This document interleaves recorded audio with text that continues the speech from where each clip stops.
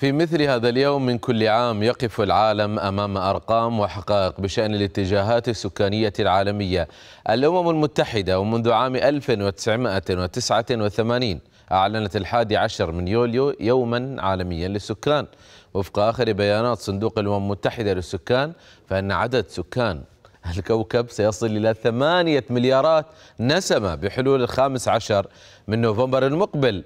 مع توقع أن يبلغ العدد ذروته بنحو عشرة مليارات و400 مليون نسمة عام 2080 وتوقعت بيانات المنظمة الدولية أيضا أن تحل الهند محل الصين وتصبح الدولة الأكثر تعدادا للسكان عام 2023 بلغ معدل الزيادة الطبيعية على مستوى العالم واحدا بالمئة في العام الجاري ويتجه المعدل في معظم الدول الأكثر تقدما إلى الصفر.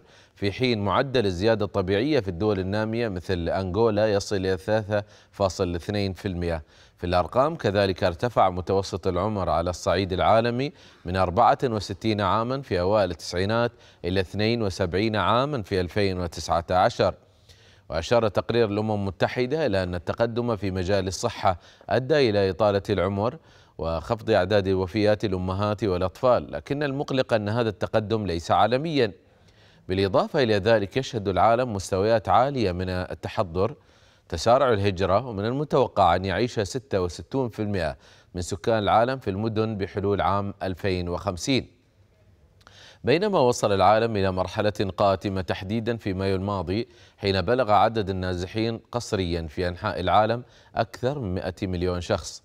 وفق الأمين العام للأمم المتحدة أنطونيو غوتيريش فإن هذه الاتجاهات بما لها من تأثير في الحماية الاجتماعية والتنمية وتوزيع الدخل تستدعي رفع الجهود المشتركة والإيفاء بالالتزامات المقطوعة لوضع الكوكب على المسار الصحيح.